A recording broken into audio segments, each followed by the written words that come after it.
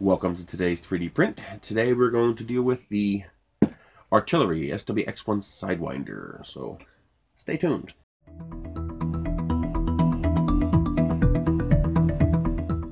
You may be saying to yourself, isn't this TH3D Studios printer? No. TH3D Studios coming out with something called the EZ300. It's based on this chassis. It turns out that it was actually cheaper to buy a ready-made glider chassis, meaning just the aluminum extrusions, than it is to have your own cut, because they can do it a lot cheaper over there. So he is buying the gliders. In the auto industry, we call them gliders. When you buy just the chassis of the car without all the guts in the drivetrain. So he bought gliders, and then he's putting his own steppers, electronics, LCD, etc. into it. And all he got from them was the chassis.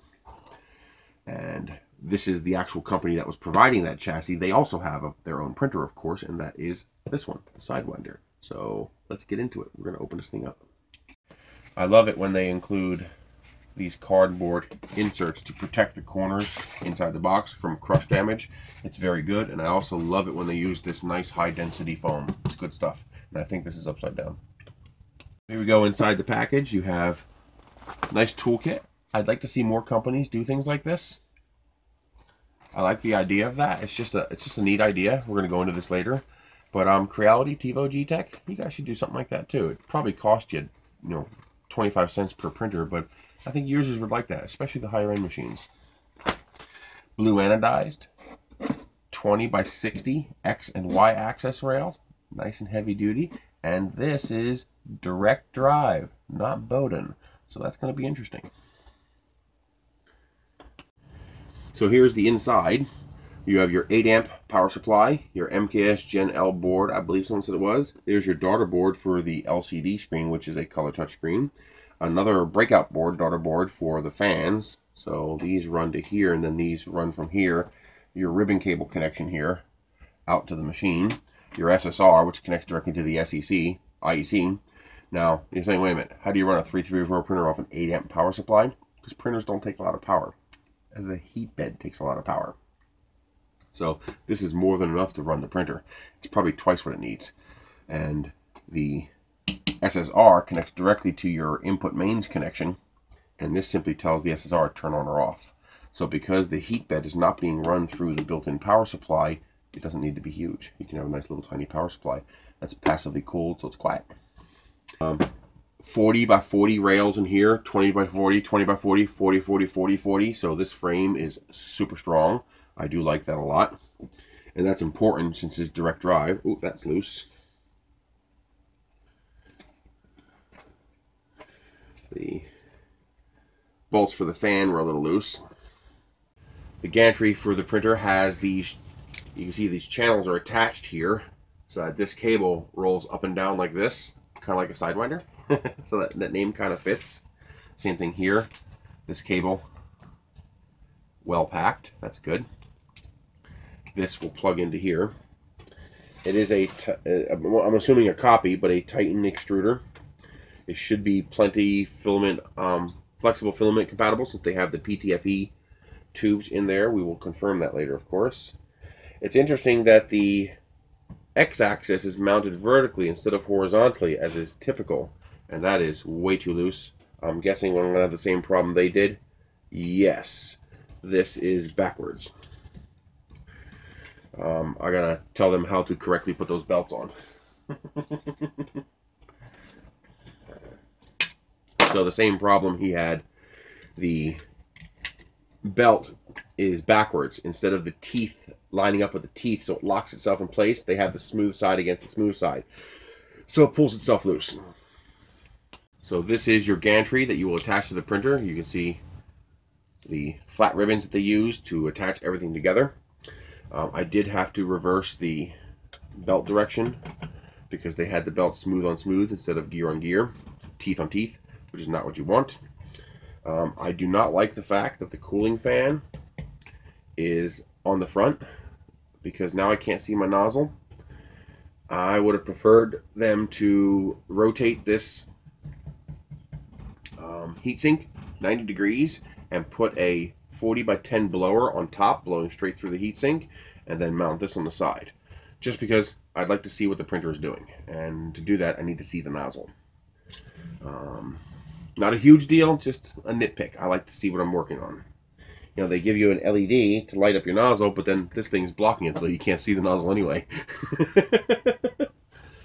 and uh, I, I like the blue anodized. I like when companies do that. It makes the machine look nicer.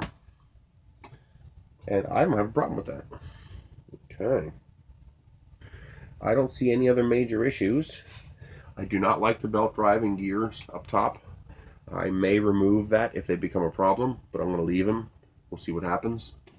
Just like the Tevo Flash that had the same type of setup, I'm just going to get rid of it if it causes me any trouble. But let's get this assembled. It's very simple. Four bolts attach this to that. Plug in the wires.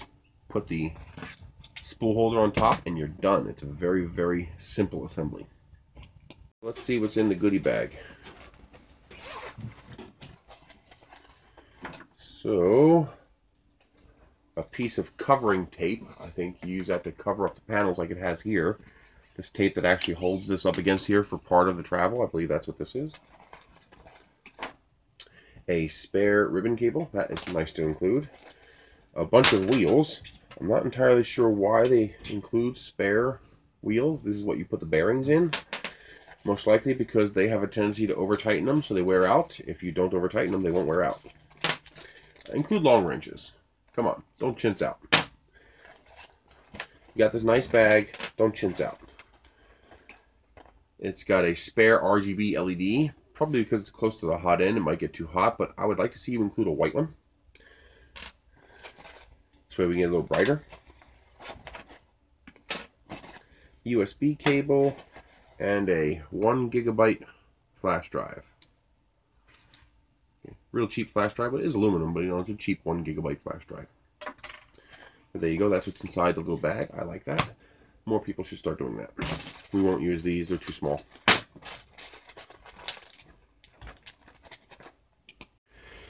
So gantries installed, four bolts through the bottom. Machining was top notch. I was able to thread them all the way in by hand, which is really nice. Of course, you can only get in so far, then you have to use the wrench. Don't forget to put the, as per Rui Raptor, you have to put the end stop here for the Z-axis on the right hand slot, not the left hand slot like the directions indicate, because otherwise your x-axis will bump into it when it's at its lowest point. Because um, obviously this has to come up quite a bit higher.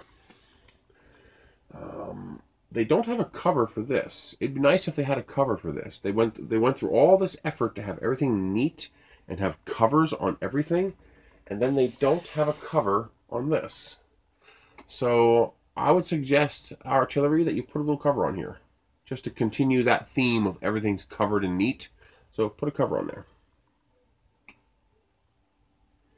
Is it possible to Alrighty, everything is plugged in. We are booted up. This fan is pretty noisy. So I will be replacing this fan with something quieter. It's got a high pitch I don't like. Um, the hot end fan is not going at all, though it may be thermally controlled. So it might only go when it gets hot. Um, I can't talk about shipping speed because it doesn't apply to you. They DHL shipped me this. So I imagine it came for me a lot faster than it would for you if you ordered one. So here is the, oh, mean, do another video. So, printer's assembled. We're ready to go. Loaded some filament. Built the spool holder. Filament detection is working. I see a little LED on there. Here's your little bit of plastic porn for you guys. I know you guys like this. You weirdos. Yeah. You get off on some weird stuff, you guys. You. Stay tuned while I get this thing leveled. Up with some extras, you have your spare ribbon cable, you have your spare wheels, which you should not need if you correctly loosen them so they're not over tight. Um, it came with the crappy wrenches, which I didn't even use, but I'll toss them in the bag here. Spare RGB LED. I did not use the lock washers for the frame. And a spare bolt, which is nice that they include that and the USB cable. But it's nice to be able to have all that in here. Where is the tape? Here's the tape. The fabric tape. Okay. So all the little goodies are in there. Let's see what's inside this bag. Can't be anything else but a Marvin. You have to print a Marvin first. Okay, I already did all this. Slicer preparation. Okay, halfway decent instructions. Let's see what this says. Spool holder, sensor, power cord. Adjusting tension. Controlling LED. Installing ribbon cable. That was all good. Except for the instructions telling you to use the left-hand slot. Don't. Use the right-hand slot. On here, for the end stop, use the right hand.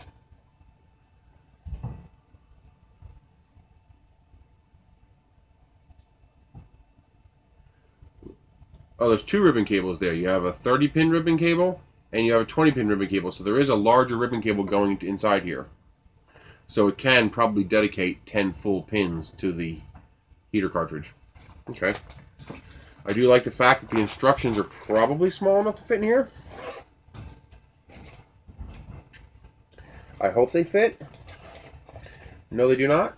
Okay, so you're going to have to fold it again. But if you fold it a second time, they will fit. There we go. So everything fits inside the bag there. Let's level the bed. Alright, we have it leveled. We are printing. I am going to replace the wheels with my larger wheels that I bought really cheap. I got a whole bunch of these. So I'm going to replace the wheels with larger ones, but so far so good. The noisy part is this fan on the board. This one's pretty noisy, these two fans, so I am going to replace them with quieter fans. Otherwise, this thing's pretty darn quiet. I just got a shower right before the stream, so my hair is like crazy. Um, the LED, you can turn that on and off. So you can see I can turn that on and off there. And you can even change the color, but not while printing. That's pretty cool. So stay